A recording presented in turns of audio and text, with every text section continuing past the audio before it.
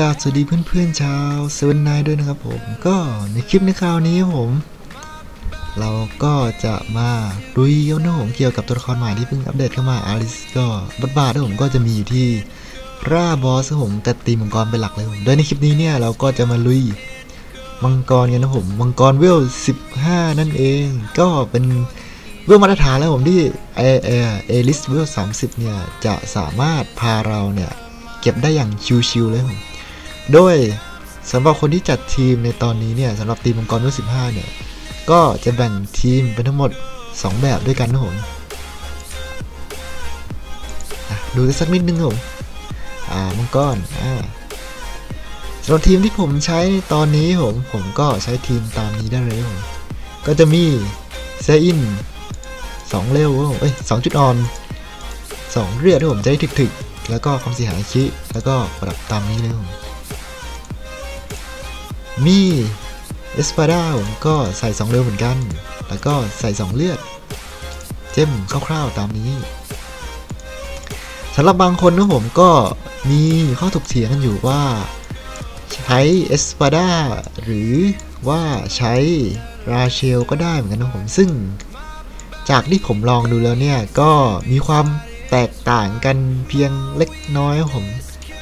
ก็เดี๋ยวมาดูของราเชลนิดนึงนะสำหรับของราเชลผมก็จะเป็น 2 เร็วเหมือนกันนะ แล้วก็ 2 เลือด ซึ่งก็เนื่องจากว่าอ่าสำหรับคนใช้เอสปาดาผมมันจะมี buff ต้านความเสียหายเวท 55%กับเพิ่มความเสียหายจุดอ่อน 30%แต่กรณีที่เราใช้ราเชลเนี่ย เราจะไม่ได้ buff ต้านทานเวท 55%ผมแต่เราจะได้เป็นความเสียหายจุดอ่อนเพิ่มขึ้นมาเป็น 50%จากแต่ก่อนแค่ 30%ตัวต่อมาผมไอรีน เนื่องจากว่าต้องการรีด damage ให้สูงที่สุด เพราะฉะนั้นเนี่ยการเอาไอรีนมาเนี่ยเสริม damage ให้ผมก็ทำให้เราเล่นง่ายขึ้นนั่นเองหรือบางคนอาจจะใช้พวกอ่าเดโลนก็ได้ จะได้เพิ่ม damage เหมือนกัน หรือว่าใช้คาม่าก็ได้เหมือนกันผมแต่ผมแนะนำว่าใช้ไอรีนน่าจะเร็วกว่านะตัวต่อมาผมที่ขาดไม่ได้ก็อาริสนั่นเองก็ของที่ใส่อาริสหลักๆ แล้วก็จะเป็น 2 ความเร็ว 1บล็อกหรือไม่ก็เลือดก็ได้ผมแล้วแต่เลยซึ่งตอนนี้เนี่ยจะใส่บล็อกใส่เลือดก็ไม่ค่อยต่างกันมากผมอาจจะต้องรอดูอนาคตอีกนิดนึงว่าเป็นยังไงแต่โดยส่วนตัวเนี่ยผมมี block PVE อยู่นะผมก็เลยเอาบล็อกมาใส่แล้วกัน อีกชิ้นหนึ่งก็จะเป็นของตอบโต้แนะนำว่าควรจะเป็น top 35นะซึ่งบวกกับ Passive ที่บวก 50%เนี่ยมันจะทำให้เอลิสผมก็เยอะที่สุดที่เป็นการตัวตอบโต้ แล้วก็เครื่องประดับของผมก็แนะนำว่าควรจะใส่ดูดเลือดกับความเสียหาย critical ถ้าใครมี gem อาจจะเป็นความเสียหาย critical ความเสียหายจุดอ่อน อีกอย่างหนึ่งก็ไลค์แล้วแต่เลยผมตัวสุดท้ายผมก็เป็นลีน่าก็ใส่2เร็วเหมือนกันนะ แล้วก็ใส่ 2 เลือดผม แล้วก็บัฟนู่นนี่นั่นผมเพิ่มปริมาณความเสียหายการฮิว20%ก็จะดีมาก เพิ่มอัตราบล็อกหน่อย แล้วก็ดูดเลือดสักนิดนึงก็ได้ผม สัตว์เลี้ยงก็คงเป็นนกราเชลที่ดีที่สุดก็ก่อนหน้านี้ก็เป็นสัตว์เลี้ยงของยูผมลงได้ แต่ตอนนี้รู้สึกว่าเขาจะแก้บั๊กเรียบร้อยเลยผมทำให้ผลของสัตว์เลี้ยงยูเนี่ยที่เป็นเขาเรียกว่าอะไรนะรบเกาะครับผมตอนนี้ไม่สามารถใช้ร่วมกับมังกรได้แล้ว เพราะฉะนั้นก็กลับมาใช้นกราเชลเดิมผมโอเค ก็เพื่อไม่เป็นการเสียเวลาผม เราก็มาดูเลยดีกว่าทีว่าทีมที่ผมใช้ในตอนนี้เนี่ย จะสามารถจบด้วยในเวลาเท่าไหร่ โดย step การออก skill เนี่ยก็จะมีทั้งหมด 2 แบบด้วยกัน แบบแรกผมก็จะเป็นการให้เซอินเนี่ยโจมตีเป็นตัวแรกครับผม เพื่อที่จะได้เกจ awake ขึ้นเร็วๆ กับแบบที่ 2 เนี่ย ก็จะเน้นให้อลิสครับผม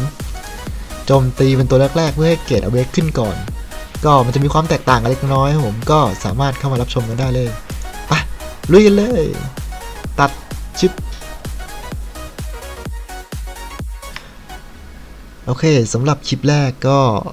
เป็นที่ผมใช้ในตอนนี้ ผมก็จะเล่นแบบว่าให้เซอินของผมโจมตีเป็นตัวแรก ตามมาด้วย skill ของอลิสผมก็จะเป็น skill ระดับถัดไป หลังจากที่อลิสใช้ skill เสร็จผมก็จะโดนพวกมังกรเนี่ยตอบโต้มาจ้ะแล้วพออลิสตอบโต้กลับเนี่ยมันก็จะลด cooldown ของเซอินผมทำให้เซอินเนี่ย มีโอกาสออก skill ต่อเนื่องครับผมเกรดอเวกเราจะได้เร็วเพราะว่าเราต้องการทำเวลาผมเพื่อแข่งอันดับกับทีมคนอื่นฟึบเข้าไปตีไปปุ๊บอะมังกรก็ต้องตีโต้กลับมาครับผมปุ๊บแล้วมังกรก็ต้องโฉบมาปุ๊บแล้วเอสก็ตอบโต้กลับผมช่วงนี้ก็เป็นจังหวะที่เราจะได้ดูดเลือดฟื้นขึ้นมานิดนึงครับผมก็สังเกตว่าเลเวลสามสิบมันทนมากด้วย passive ครับผมโอเคเซอินโจมตีไปสิบ เกตเวก็น่าจะใกล้เต็มหลอดแล้วผมอะโดนมังกรตีพอดีก็จะเต็มหลอดพอดีผมเซอินก็เต็มหลอดแล้วก็ไอซ์ต่อเลยครับผมตึมตึมตึมตึมตึมตึมโจมตีไปเรื่อยเพื่อแล้วให้เกจ awake เนี่ยเต็มหลอดเหมือนกัน ก็จังหวะนี้ผมก็เตรียมกด buff ได้เลยนะอยู่ เพราะว่า turn ต่อไปผมโจมตีก็จะเป็นของอลิสนั่นเองก็จะขึ้นเกจ awake พอดีเพราะฉะนั้นเนี่ยเซอินก็เตรียมสับได้พอดีเราจะได้ไม่ต้องเสียเวลา ปุ๊บอ่ามังกรตีมาไม่เป็นไรผมก็ค่อยๆ ตีกลับไป โอเคเซอินกด awake ไปแล้วผม สับเข้าไป ดอกแรกครับผมสองแสนเจ็ดตึมตึมตึมตึมตึมตึมขึ้นมาเกือบโอ้โห damage สังเกตนะผม เด้งขึ้นมาสองล้านหนึ่งกว่าๆนะ ค่อนข้างแรงทีเดียวผมได้ดาบเดียวฟึบตามด้วยอลิสโจมตีต่อผมเราจะได้แบบลด cooldown เรื่อยๆผมถ้าเกิดว่าเซอินก็มีโอกาสลด cooldown หมดแล้วก็อย่าลืมกดใช้กันได้ผมฟึบ ตีต่อเนื่องไปตึบเซอินมีเวลาผมก็สาด skill เข้าไป ซึมซึมซึมซึมซึมซึมอืมมังกรโต้มาครับผม ก็เอลิส